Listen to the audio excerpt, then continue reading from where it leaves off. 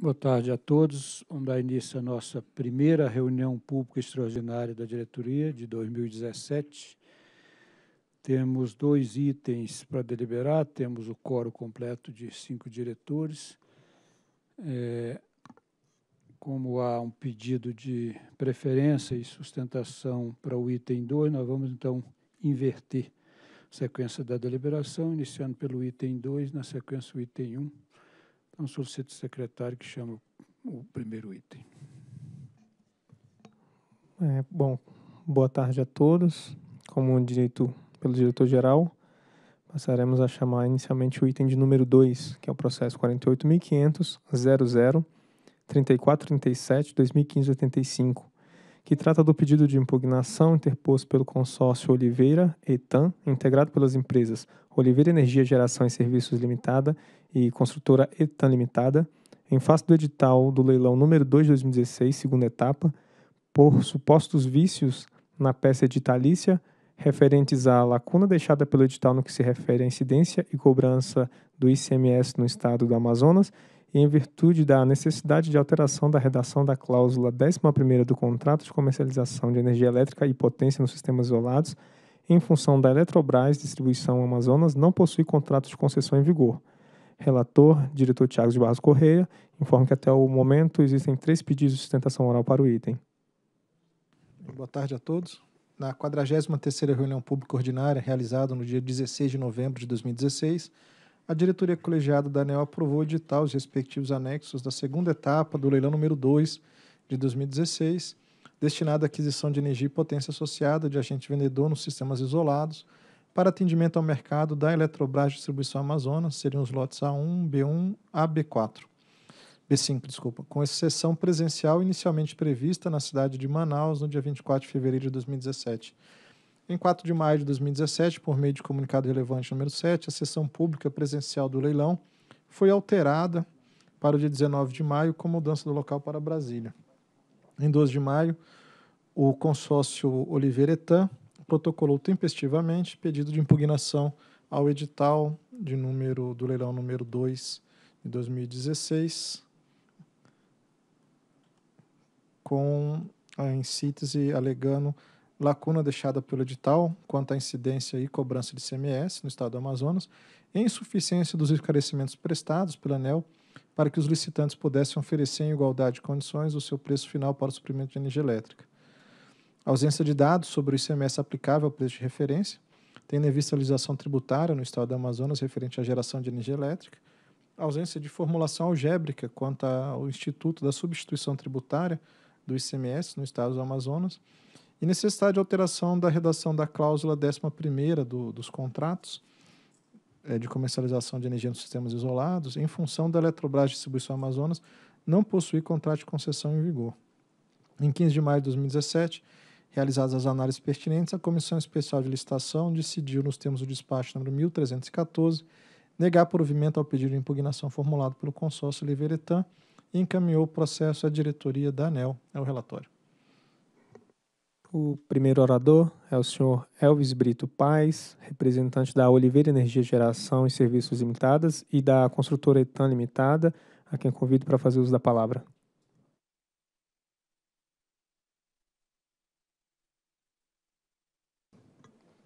Perfeito.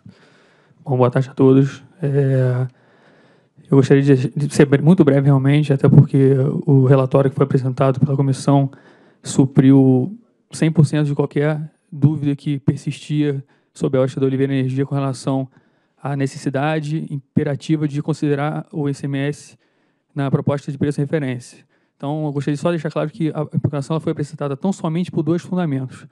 Primeiro, havia, na nossa ótica, lacunas sim com relação à, à possibilidade de ser aplicado o convênio local do Estado do Amazonas que, em escala, tornaria isento o, a, o, o fornecimento de energia elétrica dizendo de ICMS. E isso poderia permitir que empresas apresentassem propostas não parelhas, não, não equinânimes. E assim, uma consideraria ICMS, outra apostaria na possibilidade de uma aplicação desse convênio e, com isso, faria uma proposta certamente inferior e usaria essa vantagem, suposta vantagem, e no momento futuro para tentar buscar essa revisão do preço. Ou seja, o que a gente buscou o tempo todo era vamos colocar todos no mesmo par mesmo nível, para aí sim todos terem as mesmas condições de oferecer propostas compatíveis com o que entende devido de acordo com o edital.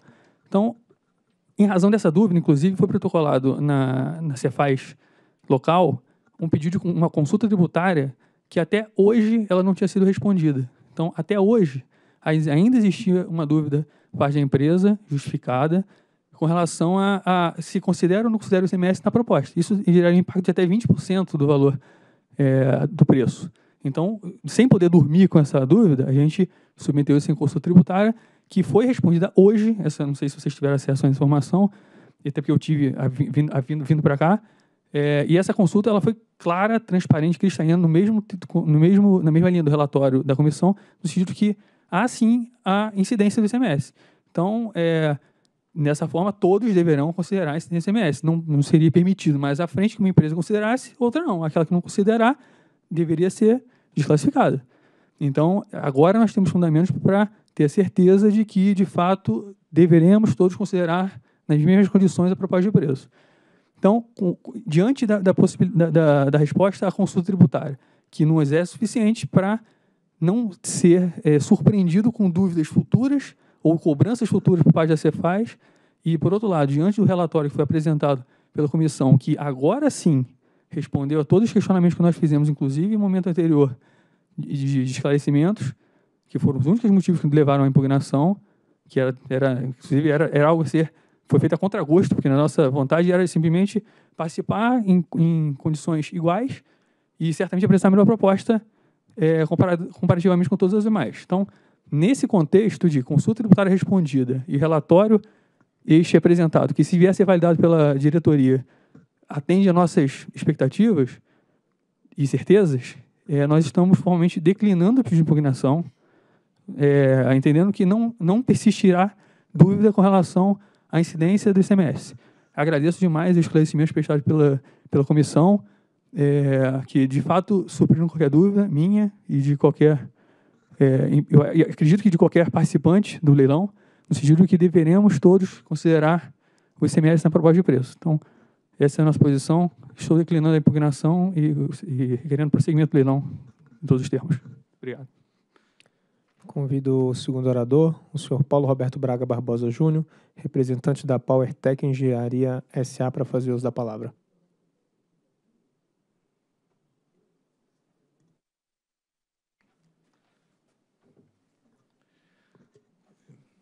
Saúdo os diretores da ANEL, boa tarde. Saúdo os demais presentes. É, aproveitando a, o pedido de impugnação feito, nós ainda gostaríamos de ver a, qual o posicionamento sobre a questão levantada da ausência, que aí está no item I2, ou 2I, a ausência de. Desculpa, o I3, a ausência de. de é o 4, alteração da redação da cláusula 11. Em função da Eletrobras, a distribuição da Amazônia não possui contrato de concessão em vigor. É, nós gostaríamos de ver a, a, o posicionamento, porque isso vai refletir em muito, em todo o processo.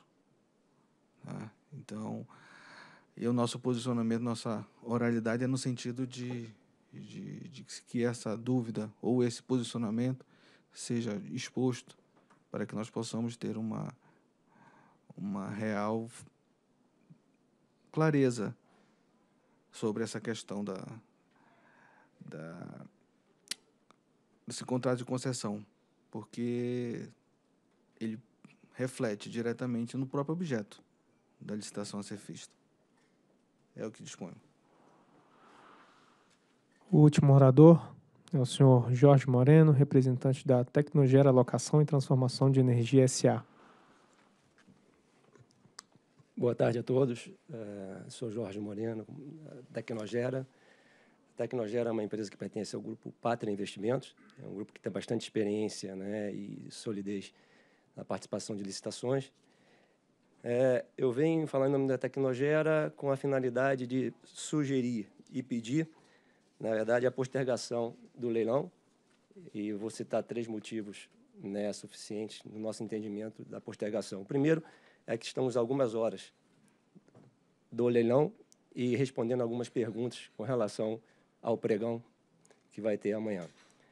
Isso, por si só, eu acho que já é um motivo da gente começar a pensar e analisar os fatos, ou seja, a gente precisa de um tempo maior para analisar a resposta que foi dada, a defesa, o que foi colocado pela Oliveira, o que foi colocado pela Anel. O segundo motivo, ele se dá em relação ao esclarecimento adicional 4, em relação às garantias financeiras. Eu vou ler o trecho aqui, né, que foi colocado há dois dias atrás no, no site da Enel. Caso as garantias financeiras do SESI não sejam apresentadas nas condições descritas no edital, serão iniciados os procedimentos para execução da garantia do fiel cumprimento, conforme o item 7.9 do edital, revogação da adjudicação e da respectiva outorga da autorização nos termos do item 6.2 do edital e aplicação das penalidades tipificadas na seção 10 do edital.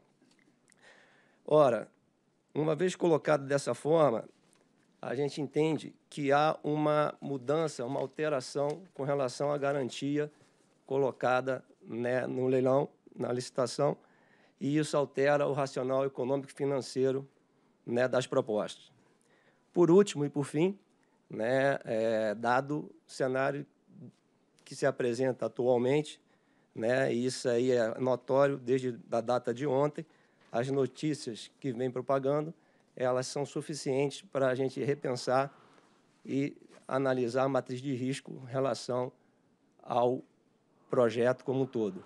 Então, de acordo com esses três pontos, eu gostaria de sugerir e solicitar a postergação do leilão que não ocorra na data de amanhã. Basicamente é isso. Obrigado. Obrigado. Procuradoria. Então, trata-se de pedido de impugnação ao edital do leilão número 2, 2016, segunda etapa. E no pedido, o impugnante alega eventuais omissões no edital e a necessidade de ajustes de redação a fim de que prevaleça o seu entendimento acerca do creditamento do ICMS incidente na aquisição de combustível. No entanto, a Procuradoria não verificou lacunas ou dubiedades no edital. De fato, durante toda a instrução, a Secretaria Executiva de Leilões deixou claro que o edital prevê que a operação de venda de energia elétrica do produtor independente de energia para as distribuidoras é sujeita à incidência do ICMS, de modo que o preço de referência deve contemplar o custo total de geração, incluindo todos os impostos e tributos aplicáveis. E da mesma forma, a Procuradoria não verificou qualquer impropriedade na cláusula 11 do contrato, uma vez que, apesar da Amazonas Energia não possuir contrato de concessão, a empresa atualmente é designada para prestar o serviço público de distribuição de energia elétrica, com todos os direitos e deveres referentes à concessão. Então, portanto, por não vislumbrar qualquer vício ou ilegalidade no edital, a Procuradoria opina pelo indeferimento do pedido de impugnação.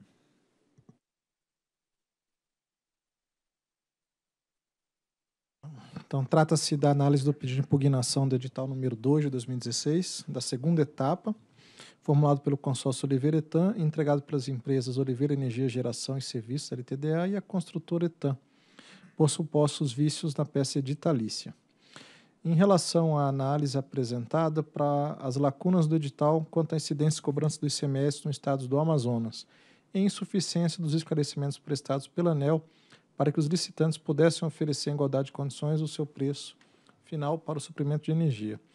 Conforme foi destacado pela, pela CEL, diferentemente do alegado pelo impugnante, não há qualquer lacuna no edital a respeito da incidência de ICMS nas operações de venda de energia elétrica, objeto do leilão, tanto na fixação do preço de referência máximo, é importante se diga, de cada lote, quanto nas orientações para a formulação de propostas de preço pelos licitantes, com efeito, o item 3.2.5 do edital, bem como o modelo de proposta financeira, manifestação de não interesse, deixam claro que a operação de venda de energia elétrica do produtor independente de energia elétrica para concessionário de distribuição é sujeita à incidência ICMS.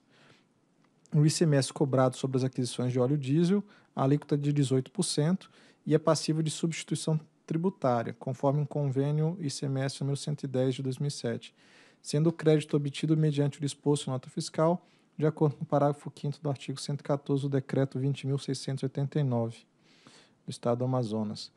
Lembra a CEL que no item 9 das respostas às solicitações e esclarecimentos adicionais, do leilão, publicados no dia 3 de maio de 2017, em face das indagações semelhantes às vinculadas pela presente impugnação, a comissão assim se manifestou. Reafirma-se que o preço de referência deverá contemplar o custo total de geração, o que inclui, além de todos os impostos e tributos aplicáveis, o custo total de investimentos, custos fixos de operação e manutenção, custos variáveis de operação e manutenção, remuneração do investimento e custo de aquisição de combustíveis. Grifos nossos. Ademais, a proposta de fixação de preço de referência máximo na primeira etapa do leilão de 2016, cuja sessão foi realizada no dia 3 de junho de 2016, em face de questão suscitada pela Guasco e Petrobras relativamente às condições peculiares de tributação de CMS na operação de geração de energia elétrica no estado do Amazonas, a empresa de pesquisa energética revisou o cálculo do preço teto dos lotes A2 e A3 efetuando a devida incorporação do ICMS como pleiteado pelos interessados. A gente já teve essa discussão na primeira etapa e ela foi ali naquela ocasião sim sanada. Agora não tem nenhuma, nenhuma necessidade de alteração. Na análise do pedido em tela, é só evidencia que os tributos e alíquotas considerados no cálculo dos preços de referência máximo são exatamente os mesmos utilizados durante o processamento da primeira etapa, da qual, inclusive, a impugnante participou como uma das proponentes e, nessa condição, teve pleno acesso às informações aqui resgatadas. Logo, não há que se falar em lacuna de edital ou falta de clareza sobre a incidência do CMS na venda de energia elétrica do PRI para a compradora. Essa operação é taxada, a alíquota de 25%, e assim deve ser considerada pelos licitantes na formulação de suas propostas de preço. Em relação à ausência de dados sobre o ICMS aplicável ao preço de referência, tendo em vista a legislação tributária do Estado do Amazonas referente à geração de energia elétrica. Em seu pleito, a impugnante aduz ser necessária consideração no âmbito de apresentação da proposta de isenção fiscal constante no convênio ICMS 80 de 2006, celebrado no âmbito do Conselho Nacional de Política Fazendária, o CONFAS, o qual estabelece que fica o Estado do Amazonas autorizado a conceder isenção de ICMS decorrente do fornecimento de energia elétrica pela Companhia Energética do Estado do Amazonas, a CEAM, inscrita no CNPJ número citado, e suas filiais, para os consumidores situados nos municípios do interior do Estado, atingidos pela situação de calamidade pública decretada em, em outubro de 2005, conforme o decreto estadual 25.362. Quanto a este ponto, a CEL destaca que o objeto da presente licitação é a aquisição de energia elétrica e potência associada de agente vendedor nos sistemas isolados, que atuará na condição de produtor independente. Em outras palavras, o citado convênio prevê a isenção fiscal abrangendo exclusivamente o fornecimento de energia elétrica pela concessionária de distribuição aos consumidores finais, não alcançando o PI. Sendo assim, o licitante que vence sagrar vencedor do lote dessa etapa do certame, na condição de produtor independente, o PI, não consta no rol de destinatários da isenção fiscal prevista no referido convênio semestre número 80 de 2006. A Lei Estadual 2.989 de 2005, regulamentada pelo Decreto 25.558, isenta do ICMS a saída de energia elétrica da Amazonas Distribuidora para consumidores finais situados no interior do Estado, e, em contrapartida, exige que a referida empresa estorne o crédito dos insumos adquiridos. Não há limitador temporal na referida lei nem decreto. Com as normas existentes, são interpretadas de forma literal. Esta isenção não se estende à venda de energia pelo produtor independente, como defende a impetrante.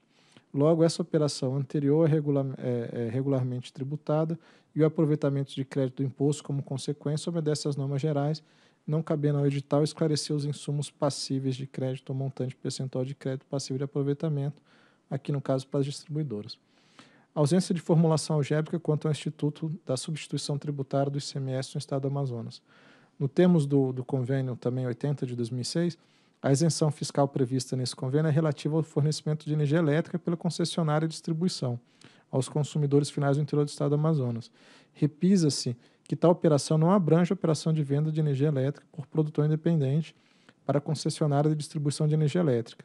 Para esse ponto, a recursante alega que, mesmo que se considere passível de utilização do crédito CMS relativo ao óleo diesel, deve o edital especificar detalhadamente como seria efetivado o aproveitamento desse crédito, mormente considerando a possível isenção de CMS sobre o fornecimento de energia elétrica. O item 3.2.5 do edital estabelece que o ICMS cobrado sobre a aquisição de óleo diesel é passível de substituição tributária, conforme o convênio ICMS 110. Contudo, o crédito é obtido conforme os valores dispostos na nota fiscal, de acordo com o parágrafo 5 do artigo 114 do decreto 20.000 686. A utilização de substituição tributária de ICMS nas operações de aquisição de combustível, conforme previsão editalícia, é uma faculdade que todos os proponentes poderão utilizar, devendo ser considerada estritamente a critério de cada participante no momento do leilão, por sua conta e risco, com base na legislação tributária pertinente. Após se sagrar vencedor do certame e assinar o contrato de comercialização correspondente, deverá o PI buscar a devida substituição tributária. Todavia, caso não a obtenha, total ou parcialmente, isso não ensejará a revisão do preço contratado no leilão. Por se tratar de questão situada na esfera de gestão do PI, não cabe à ANEL disciplinar quais tributos, impostos, contribuições ou subvenções com respectivos alíquotos são devidos para cada proponente, quando da geração de energia elétrica no estado do Amazonas, nem como será a atuação discricionária dos órgãos tributários municipal, estadual e federal no âmbito da apuração e cobrança de tributos. Cabe à, à empresa de pesquisa energética, a EP, considerar no estabelecimento do preço de referência máximo quais os tributos e alíquotas são pertinentes, tais como já citados, ICMS e PiscoFins, bem como prever que haverá pagamento por parte da vendedora durante a implantação e operação dos empreendimentos destes e de outros tributos, recuperáveis ou não, o que já foi feito no cálculo dos preços de referência, que são máximos. Em relação à incompatibilidade da redação da cláusula 11 com os contratos, em função da realidade regulatória da Eletrobras Distribuição Amazonas não merece prosperar o pedido de impugnação ao certame em virtude de solicitação da recorrente para ajuste da cláusula 11, resolução do, do, do, dos contratos, devido à alegada atuação da forma precária e provisória sem contrato de concessão prorrogado pela Eletrobras Distribuição Amazonas. Com efeito, objetivando garantir a continuidade do serviço, a Amazonas Distribuidora de Energia foi designada por meio da Portaria 420 de 2016 do Ministério de Minas e Energia como responsável pela prestação de serviço público de distribuição de energia elétrica nos municípios do estado do Amazonas, nos termos e condições estabelecidos na Portaria 388 de 26 de julho de 2016, até a assunção do novo concessionário ou até 31 de dezembro de 2017, que ocorrer primeiro.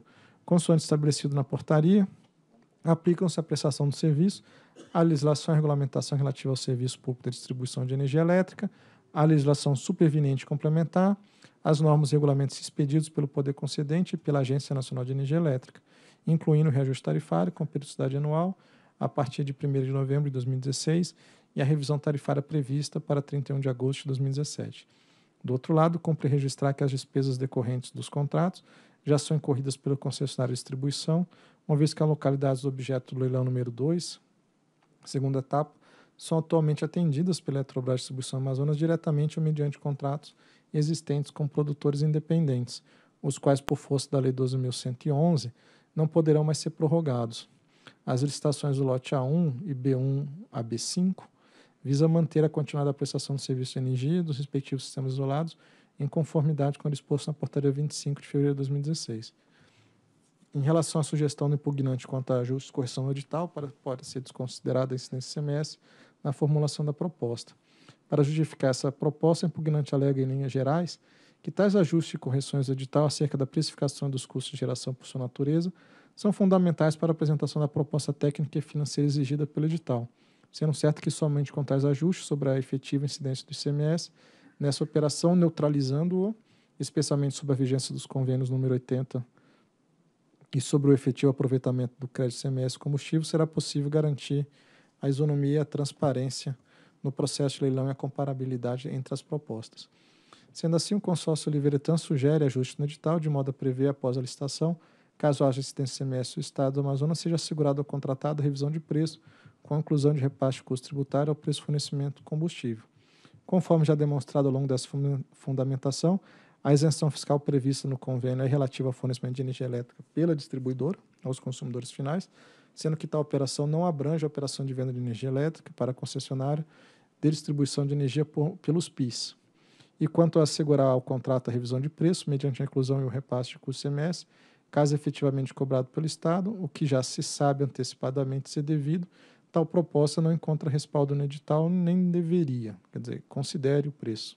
Né? Depois não venha dizer que não considerou, porque não sabia. Com efeito, o teor disposto na cláusula 4.6 a seguir reproduzida, a possibilidade de adequação da receita de venda atribuída à vencedora após a celebração do contrato de comercialização é admitida apenas e tão somente se houver alteração ou criação de tributos ou encargos específicos no setor elétrico, o que não é o caso, pois já se está falando da atual legislação do setor. Aqui é bom ver aqui até inclusive a redação, é, caso sejam criados ou alterados após a data da assinatura. A gente teve alguns, alguns, alguns casos já concretos em que se, se, se buscava alterações citando contratos e convênios anteriores ao, ao, leilão. Não é, tá? Tem que fazer a proposta e se houver, aí se aplica. Tem aqui que prestar atenção são nisso, as alterações tributárias após a assinatura do contrato. Bem, antes de passar para o dispositivo, um, um breve comentário em relação à conveniência e oportunidade de se alterar a data do leilão em decorrência de, do que foi divulgado a partir de ontem na, na imprensa, na situação política.